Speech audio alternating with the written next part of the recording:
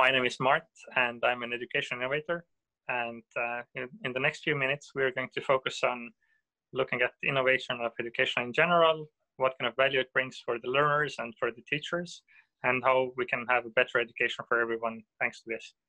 Is this education system really uh, fulfilling the promise that we are making to the kids today of preparing them for the life in 21st century working environment or entrepreneurship environment? If we are able to inspire the kids and uh, get them to, to work on, on issues themselves, they can develop up to 10 times faster than kids that are just following the curriculum based learning.